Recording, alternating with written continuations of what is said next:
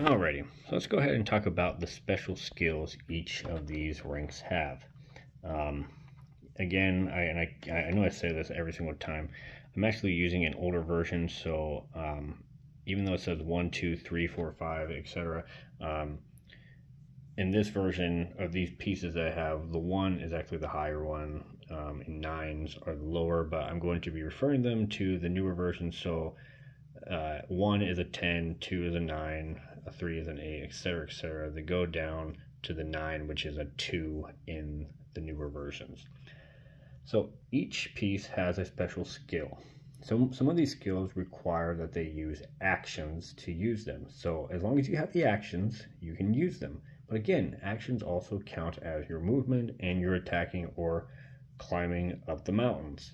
So first things first is the 1 or the 10. So the 10 has the ability to intimidate. That's a special power. By using one action, the 10 may intimidate any unit up to three adjacent spaces away in any direction, including diagonal. So, and I'm just going to, for the sake of this here, now normally, if this were a normal game, the 10 wouldn't know what it is uh, attacking here. So, but in this version of it, the 10 can go ahead and he can use one of its actions, again, assuming that he had them, and he can freeze this piece. It doesn't work on bombs or the flag because they can't move anyways. Um, the only thing is, is that, well, um, you don't reveal what the piece is. So if this were an actual game, and I was the 10 or the 1 in this case and I said well, I'm going to use my intimidate action. I'm, I'm going to freeze you. This person this this guy playing here doesn't have to be like okay well you froze and ate. Nope he doesn't have to do that. He just it stops right there. He goes okay you know I am frozen. However the thing is is that is that an enemy that is frozen, it may not move or attack, but it can still defend, but will receive a minus three. So even though um, this you know guy would, would have been super weak because in the other versions he is a three himself. And by the way, this minus they cannot drop below zero.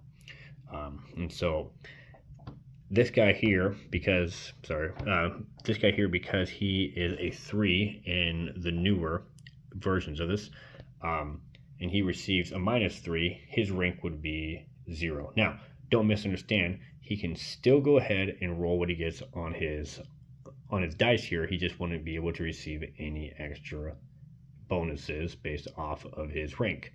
So that's what the 10 can do here. I'm trying to think or not think, but I'm trying to look at it here because I originally had it. They could only do this three times, but then I changed it, and I think I think I kept it.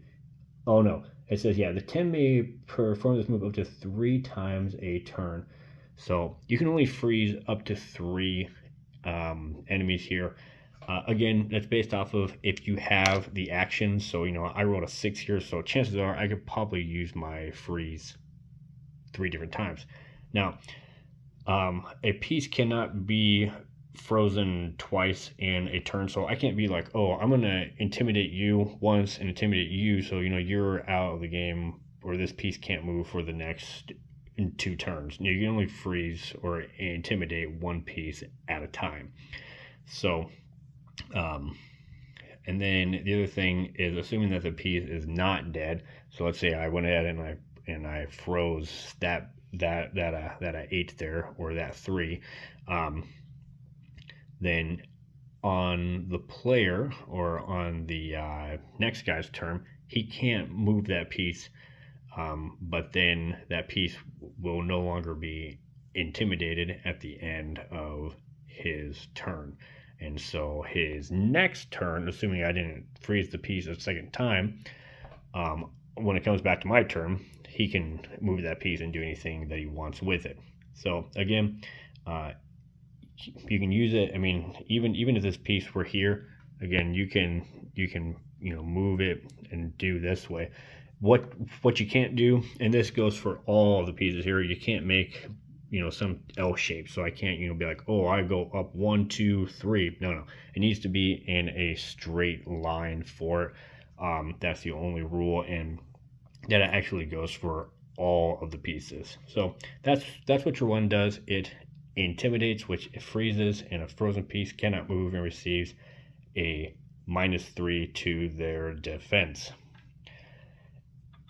A nine has the power, and we'll probably bring that eight back here in a minute. The nine has the power, and this only goes for an attack. The nine has the power to receive a plus one to its attack um, based off of any of the numbers that are next to it. So if there are, and it can only be uh, with a maximum of plus three. So, so let's say that this is what is going on. Oops, not a, a uh, nine. I'm thinking of, sorry, this would technically be a two, but in the, in the new versions, um, the two is the nine. So if there are pieces and they have to be adjacent. So, I mean, and it has to be right next to you here. So it can be in left, right, up, down, or diagonal. I want to make sure that my notes are saying that's right. It should be. Um, yep, yep, okay. Um, they receive a plus one with a maximum of plus three. So even though this is a nine, because he has one here, he's, he's, he's now plus 10, 11, 12. So he is coming after this after this 8 here, or in this, or if you're doing the new, um, like the new rank system, it would be a 3. So he's coming after that 3 with 12. Again, it has to be that the pieces are adjacent to it. Uh, that's that's that is the is the only rule to it. The other thing as well as um, it doesn't work for if he is the defender. He still has to rely solely on his on his rank. He doesn't get any of the extra ranks. It's only for the attacking rank. So we'll go ahead and move move him over, put these guys back in the order they're supposed to be in. We'll get to them when we get to them. And so the next thing here is the 3 or the 8. So the 8 has advanced knowledge. and you can, using using an action, again, it takes an action, any unit within two spaces, not counting diagonal in this case. So, so you know, if this piece was here, this this would not work. It's only up, down, left, left, right. You can use one of your actions and say, I want to know what this piece is. And as an action, they have to say, okay, well, it's an eight, and that's it. You know, there's nothing else to it. Now, there are a lot of these that, like, even though maybe you aren't actually attacking someone, for instance, with that one with this, you know, with this three here, or I should say the eight and the ten, even though you're not technically attacking someone, you have to be careful with it because you, you know, like if you use this, this, this advanced knowledge here, then your opponents can be like, oh, well, that's clearly an eight. Like, I know what that piece is. So, you know, you gotta make sure that you use your pieces or your special skills where you can. Uh, the next one is a four, which is a seven in the, um, which is a seven in um, the newer uh, versions of this. A seven can snipe. and um, and again, let's let's go ahead and turn these guys around here. I'm just kind of grabbing any piece that I can. So seven can snipe. Uh, a seven um, can attack anyone, and this is not counting diagonal, can attack anyone one to two spaces away. Now, if they attack someone who is one, who is one space, that person can still de defend as normal and can possibly win if they're attacking someone who who is who is farther away, well, then that person cannot fight back, even if their rank is a higher a higher um, rank here. So let's let's go ahead here and bear with me. Let's say that this is another seven that I am going to attack here. Again, if it is a tie, nothing happens, but only if it's another seven that I am attacking. And let's say that, you know, just just for the sake, and I'm just going to assume that I'm not on this desert tile. You know, I rolled a one, making my total attack eight, uh, eight because I'm a seven, and they rolled, um, I don't know. Anyways, they rolled a three, making their total attack a 10 because they are the defender and it's a seven because they can snipe you back, they technically win. Now, let's say that this was any piece besides a seven. Uh, so a, any piece saying it's not uh, a mirror match. Uh, and if they rolled higher, nothing happens to both sides because I'm sniping them from one space, or sorry, from two spaces uh, way here. Um, and I, I'm showing this here because you don't have to have a clear shot. You can snipe over someone. This also goes for your ranks too. So you can you can attack someone who is behind another piece. So let's go ahead here. and let's say that we are we are back on the mountain here. So first, so first things first, a seven does not have to use two actions to attack up to attack up the mountain. The exception to the rule is, is it has to be right against the mountain itself. So like it couldn't be on this fort here and try to attack. No, it it it has to be right up next to the mountain for for for this to work okay, if that's the only exception. And the same thing goes here.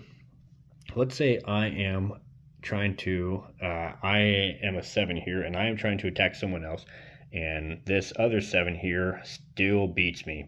He has to be right up against the mountain itself to win.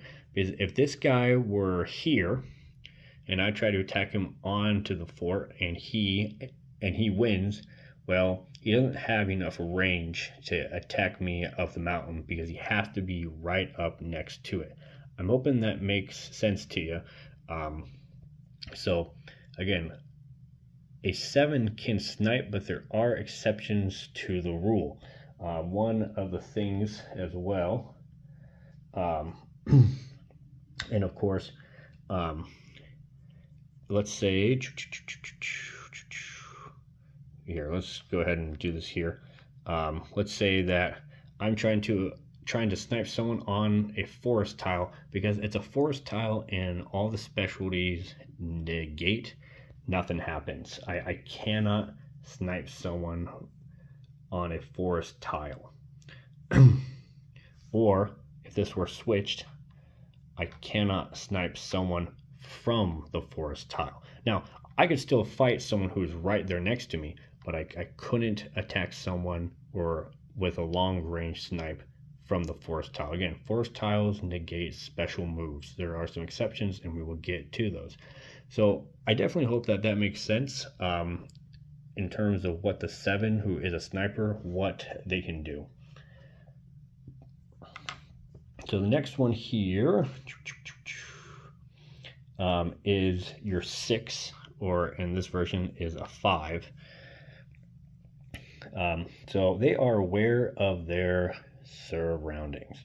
The only thing they can do is they, as a six, they can move diagonally and they can attack diagonally. The only exception to that rule is you cannot is you cannot attack or move into an enemy or uh, into a square that is a forest tile. You cannot use your special action, which is moving in a diagonal way or attacking in that same way into a forest a forest tile. That's the only thing that they do, and that's what that is. So your next one here is a five, which is a six in this old one, and a five they don't receive any disadvantages on desert or on ice. And so if they were attacking someone from this desert spot, they don't have to roll the dice twice. If they are attacking or defending on this ice, they don't receive any of the minus threes that um, that work with it. Um, also, they don't have to they don't have to use two actions to attack onto a mountain. But if they're on a mountain, they still have to take two actions to move from the mountain. Um, and then um, as you're trying to move off of a mountain, and I don't think I said this uh, in my video explaining what all these do, it doesn't take any extra to get off a mountain. It just takes a normal one. It's only climbing onto the mountain um, that takes the extra two. And so um, they still have to take two actions to climb onto the mountain if they were just climbing on um, or moving. But if they were attacking someone who is on a mountain, they don't have to use two actions for it. That I, I definitely hope that makes sense. So again, they do not receive any of the minuses to the ice. They don't have to roll the dice twice and take the lower. And if they are attacking only on the mountain, onto the mountain, they don't have to use two actions. But moving onto the mountain or moving through the mountain still takes two actions. Next, we have um, you have a seven or a four in in the new games. They have the ability to leap. so, um, so first things first, um, the four can jump over over each of the tiles as many actions as they have. So let's go ahead and roll. He has two. So I could potentially one, two. So sorry, he was here. So one, two, and he comes here. So you can skip as many squares as you have actions for. Um, the rules to that is you cannot land in a lake. That's still off limits, but you can jump over the lake. Um, the lake does count as two actions. So like if I only rolled a one, I could not use, oh, well, this is one, so I jump over. No, it still has to be one, two, and then you jump over it. You cannot either um, leap onto a guy and attack on the same turn. Um, if there's someone in your way, well, sorry, because like you have to use a separate action to attack after you have leaped. Um, there are some other rules to it. Um, uh, four cannot leap over and onto a mountain, um, and they must interact with it as normal. So again, if if the four here four here cannot jump onto the mountain it, it, must interact with the mountain as it normally would. And then finally if a four can land into a forest but it cannot leap from a forest. So trying to just look at my notes here make sure i got everything. I believe that is is it um, in terms of what this piece can do. So again, you know, with the four, I rolled a three, so I could potentially jump over three of these of these squares here. Now I couldn't because that would lead me right back to this lake, which I can't jump over. But let's say I could I could jump over this, so I can one action, two action, three actions. So it's you know each each action um, will cover one of these and I could potentially land here as a result. So that's what that guy does. So let's look at the miner. The miner is pretty much still the exact same piece. Um, it, I, I, mean, again, um, it diffuses bombs. That's its main its main goal, its main purpose here. Uh, it diffuses bombs. Uh, it can defuse bombs on on uh, a forest tile. Um, and the other thing it can do is it um, the other thing it can do is it can move onto a mountain without having to use any actions. However, trying to again attack up the mountain still requires two actions. The only exception to this rule here is if it were a bomb on a mountain, then the miner doesn't have to use two actions to defuse that bomb if he's not on the mountain. That's the only exception to the rule is if it is a bomb. Same with if the if the miner was already on the mountain, uh, and so with the bomb, he doesn't have to take two doesn't have to take two actions to get to it, or or to try to defuse it. He can only um, just use the one action. Only can be bombs. But again, getting on the mountain or moving through, he doesn't take any additional actions. But attacking any piece besides besides a bomb takes two additional actions. Um, so or two two actions, I guess I should say. So that's what the miner does here. Um, the nine or the two, so I'm just trying to move some pieces out of the way. The nine of the two still works the exact same. There's literally nothing different. They can move as far as they want and attack in that same turn. They can move left, right, up, up, down. That's it. They, you know, act the same way as a two um, or a nine works. Um, there's nothing else different. Um, they still have to take two actions to go up the mountain. Um, in fact, let me see if I have any additional rules here. two still plays the same at any in direction besides diagonally. Moreover, they may attack with that movement. Uh, this does not require extra action, but still require two actions for moving on and through um, and attacking on mountain terrains. If the two doesn't have enough actions to interact with the mountain, they must still travel as far as they can, but will stop next to the mountain tile. Uh, may move through forest tiles without worry. And so you could potentially, you know, move all the way up here, but it is going to take two actions to move on and through the mountain. Again, the mountains, there's a lot of rules to it uh, because it takes extra actions to get on and off it, or not uh, off it, but on and through it.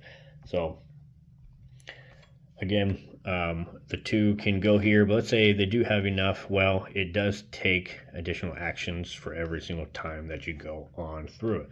And so, you know, let's say I roll to roll five. Well, then that's one action because I got as far as I can go and that's additional two more actions so that's three actions and if I want to go here additional two more so so that's all five of my actions now let's say I only rolled a one and I was here. Well I don't have enough actions to get onto the mountain. Heck even if I rolled a two I don't have enough because this counts as one and I don't have enough to get on here. So long long story short probably having a nine or a two going on a mountain is probably not the best option, but it is an option nonetheless. That's why there's only oh it looks four four mountains here, so it is uh, it is up to you.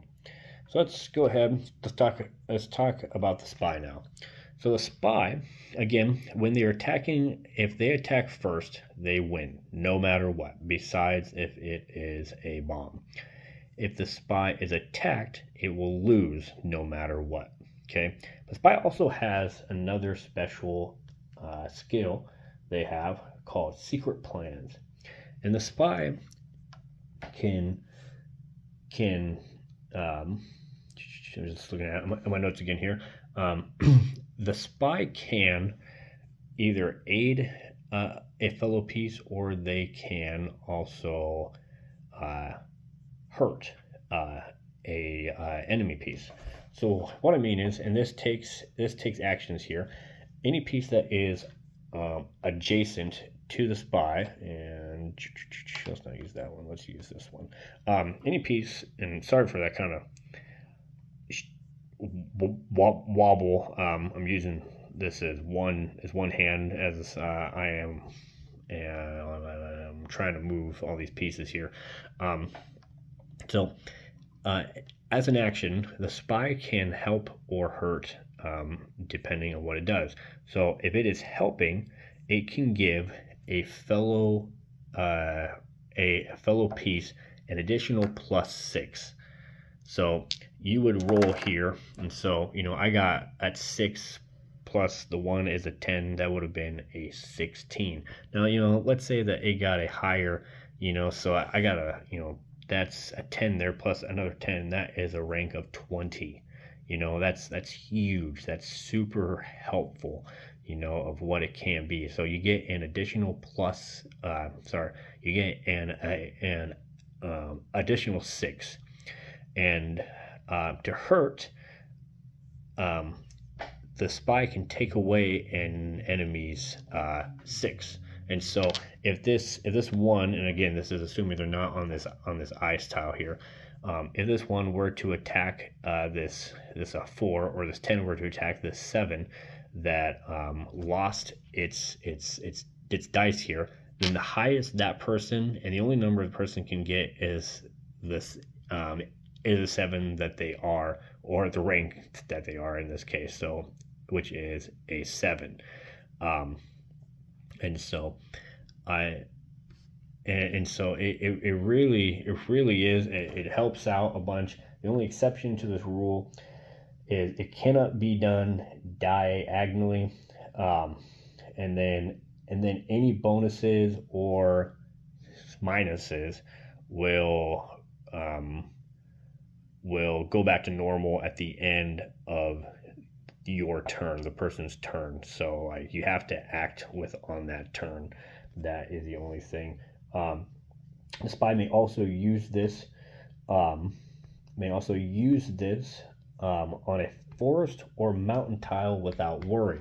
So again, you know, the spy could could be here and say, well, I want to make sure that guy loses his D6 well, you don't have to take any extra actions for it. You don't have to, you know, do anything extra with it. Even if it was like this, you know, he still will go ahead and he will lose it. Or if the if the spy himself is on the forest, and you know, that's that's still totally fine. So can use it.